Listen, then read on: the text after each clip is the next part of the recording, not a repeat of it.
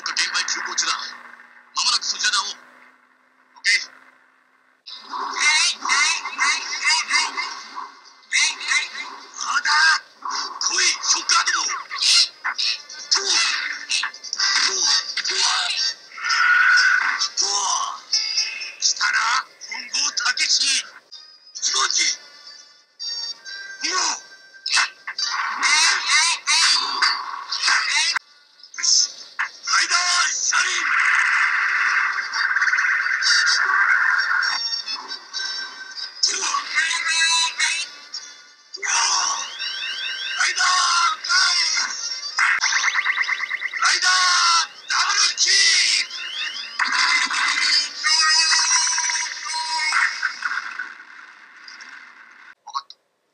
ここにある数字はきっと地図の緯度を示してるんだ